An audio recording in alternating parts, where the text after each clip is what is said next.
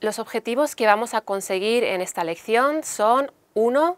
Escucharemos una pregunta y seremos capaces de elegir la respuesta correcta. 2. Leeremos un texto y seremos capaces de elegir el tema de este. Y por último, leeremos un texto y seremos capaces de elegir la respuesta similar al contenido de este.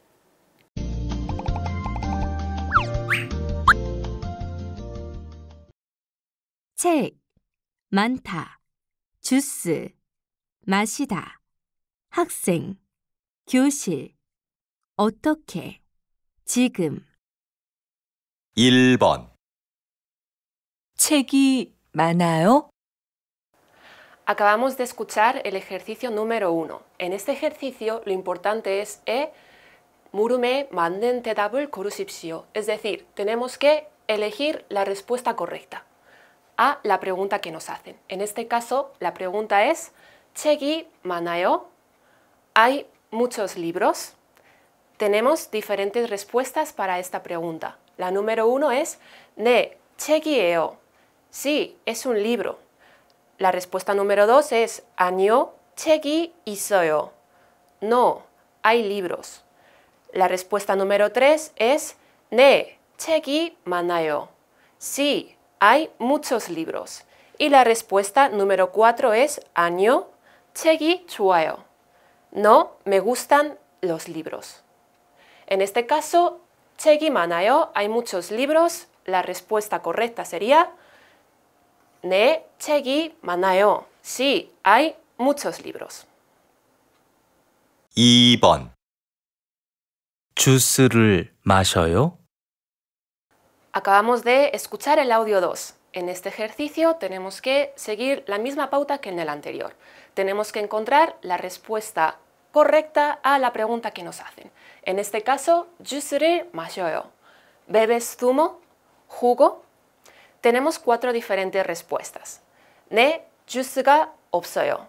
Sí, no hay zumo. 2. Año jusure chuaeo. No, me gusta el zumo. La respuesta número 3.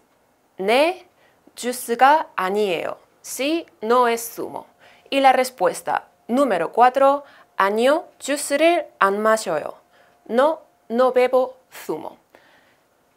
Repetimos nuestra pregunta que es 주스를 마셔요, bebes zumo. En este caso la respuesta correcta sería la 4. 아니요, 주스를 안 마셔요. No, no bebo zumo. 3번, 언제 친구를 만나요? Acabamos de escuchar el audio 3. En este caso también tenemos que encontrar la respuesta correcta para la pregunta que nos hacen. En este caso es 언제 친구를 만나요? ¿Cuándo ves a tu amigo? Tenemos cuatro diferentes respuestas. 1. 내일 만나요. Lo veo mañana. Respuesta número 2. 교실에서 만나요. Lo veo en la clase. Respuesta número 4. 학생을 만나요. Me veo con un estudiante. Y la respuesta número 4. 동생하고 만나요. Lo veo con mi hermano pequeño. En este caso nos están preguntando cuándo, 언제, 언제 친구를 만나요? Por lo tanto, en este caso la respuesta correcta sería la número 1. 내일 만나요. Lo veo mañana. 4번, 집에 어떻게 가요? Acabamos de escuchar el audio número 4. En este caso también tenemos que elegir la respuesta correcta a la pregunta que nos han hecho. En este caso, la pregunta es, 집에 어떻게 가요? 어떻게 가요? ¿Cómo vas a casa? Tenemos cuatro respuestas para esta pregunta. La número uno es 지금 가요. Voy ahora. La respuesta número 12 es 학교에 가요. Voy a la escuela. La respuesta número 3 es 버스로 가요. Voy en autobús. Y por último, la respuesta número 4 es 선생님이 가요. Va el profesor. Nuestra pregunta es 집에 어떻게 가요? ¿Cómo vas a casa? Por tanto, en este caso, la respuesta correcta es la número 3. 버스로 가요. Voy en autobús. Continuamos con la práctica de expresiones. Aquí tenemos tres expresiones que se adecúan a las cuatro preguntas que hemos eh, respondido. 주스가 좋아요, está bien el zumo, jugo, dependiendo de la parte de Latinoamérica o de España donde nos estéis viendo. 주스를 좋아해요, me gusta el zumo o jugo. Ambas expresiones pueden significar perfectamente lo mismo, sin embargo, hay ocasiones en las que 주스가 좋아요 también puede significar que está bien el zumo. Por ejemplo, si te preguntan, ¿quieres café o té? Puedes decir, para mí está bien el café. 커피가 좋아요. En ese caso se podría diferenciar con eh, 주스를 좋아해요, 커피를 좋아해요. Por último, tenemos la oración 버스로 가요. Voy en autobús.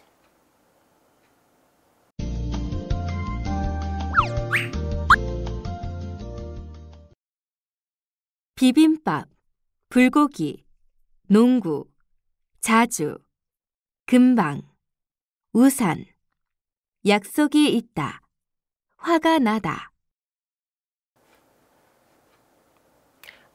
Ahora vamos a comenzar con el ejercicio de lectura número 31. Nos dice, 무엇에 대한 이야기입니까? 알맞은 것을 고르십시오. ¿De qué se está hablando? ¿De qué se está hablando? Elija la respuesta correcta. Por tanto, en este ejercicio tenemos que elegir el tema, el tema del texto que nos ponen. En este caso es 비빔밥이 맛있습니다. El bibimbap está rico. 불고기도 맛있습니다.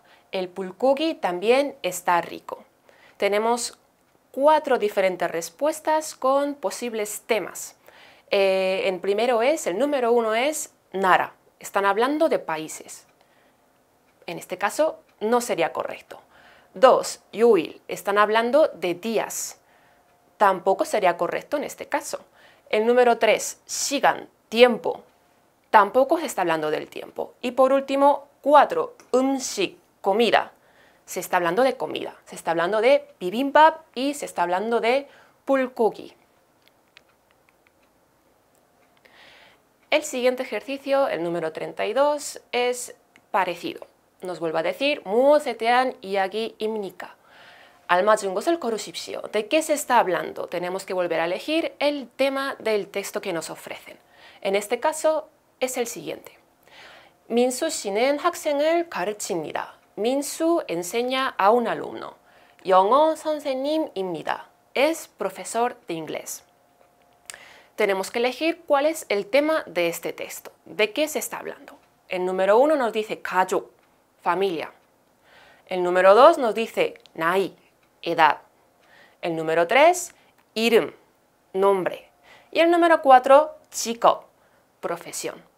En este caso nos están hablando de la profesión de Minsu, es profesor de inglés. Por tanto, el tema es chico, profesión. En el ejercicio número 33 es parecido. Tenemos que volver a elegir el tema del texto. 무엇에 y química. ¿De qué se está hablando?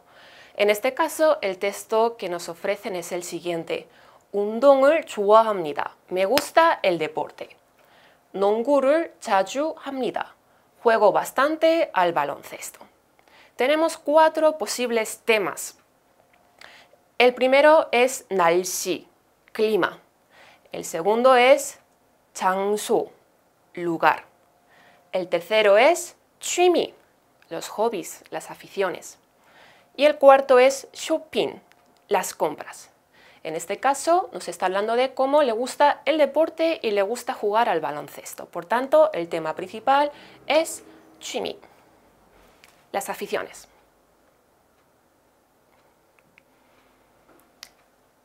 Pasamos a eh, otro modelo.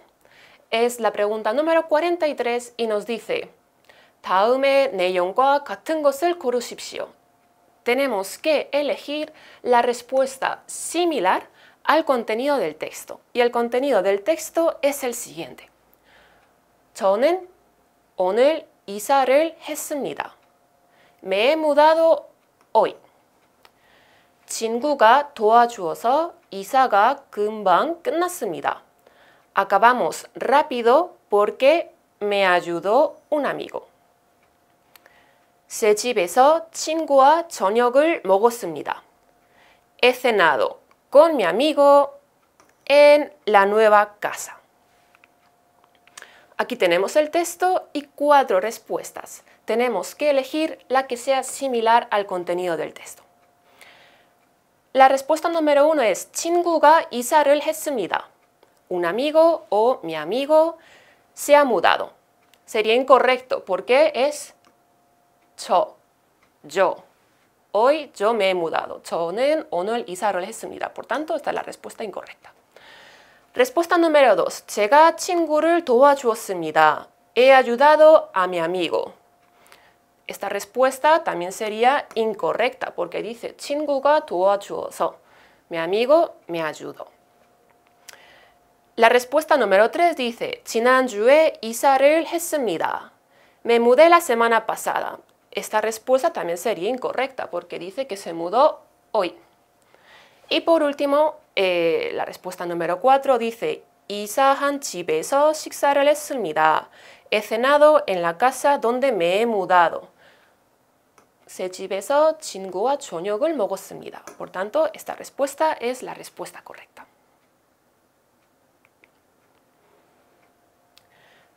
Ahora vamos a ver el problema número 44.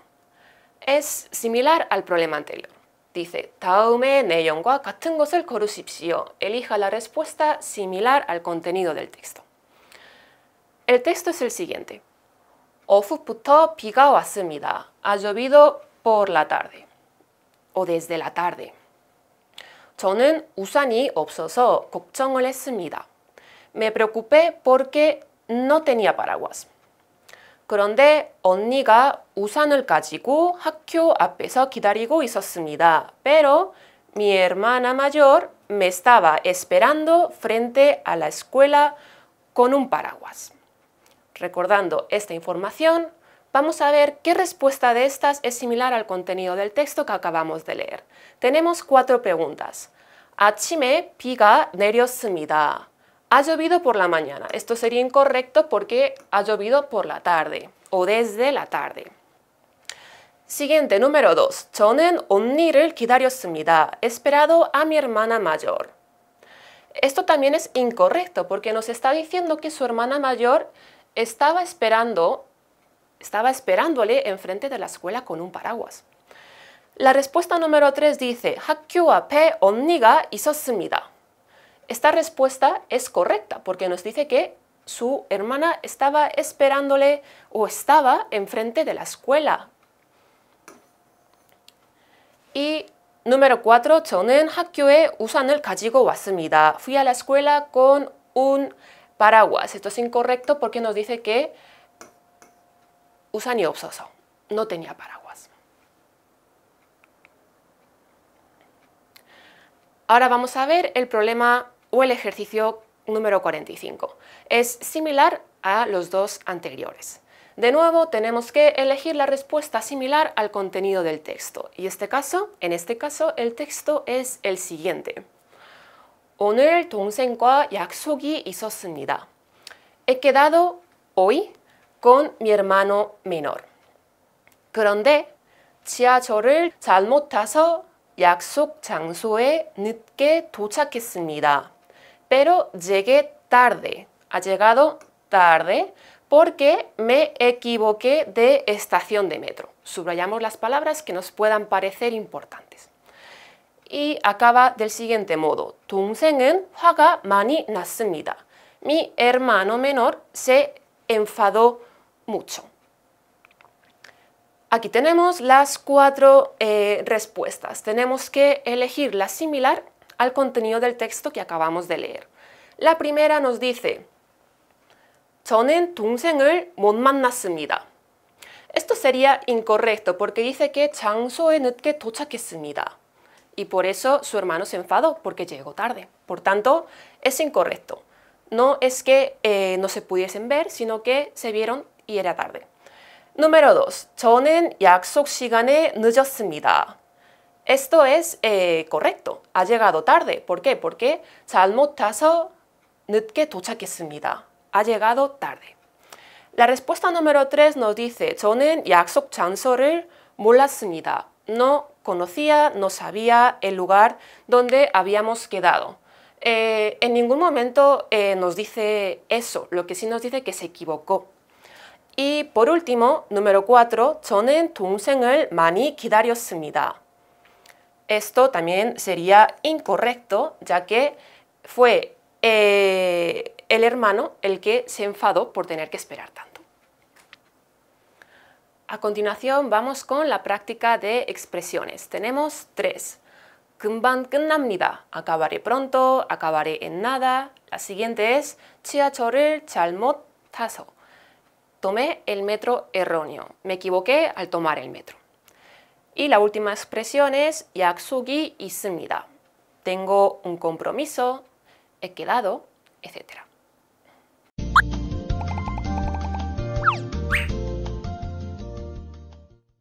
Ya hemos acabado, eh, ahora os voy a dar unos cuantos consejos para poder mejorar en las diferentes destrezas. En el lado de la comprensión auditiva os recomiendo primero que leáis bien la pregunta y eh, que identifiquéis bien qué eh, nos están pidiendo y sobre todo también puede seros de ayuda subrayar el objetivo del ejercicio. Además, eh, también os recomiendo de cuando practiquéis en vuestra casa, escuchéis dos veces el audio y por último que anotéis palabras o frases cortas que os puedan parecer relevantes. Respecto a la comprensión lectora, os recomiendo leer bien la pregunta y eh, identificar qué nos piden. Esto parece algo pequeño, pero es muy importante, subrayar el objetivo del ejercicio, tener muy claro lo que quieren que hagamos. Eh, os recomiendo también leer el texto varias veces y subrayar palabras o eh, frases cortas relevantes. También podéis hacer alguna que otra anotación.